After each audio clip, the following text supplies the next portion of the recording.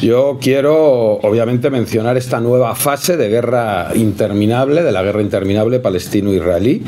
iniciada, una guerra iniciada por una decisión de las Naciones Unidas, la decisión de partición de Palestina, y prolongada durante 70 años por la incapacidad de Naciones Unidas de hacer efectivas sus resoluciones.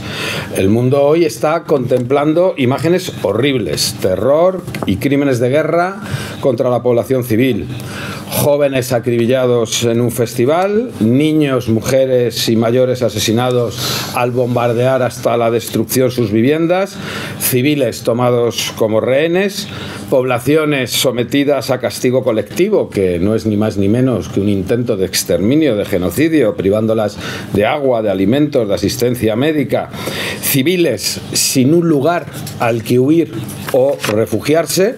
Y quiero obviamente trasladar nuestra solidaridad con todas las víctimas y sus familias y también dejar constancia de que en las guerras no hay víctimas de primera o segunda, es decir, no hay muertos o asesinados según quienes sean las víctimas, evidentemente. La solución definitiva para el conflicto eh, palestino-israelí es una necesidad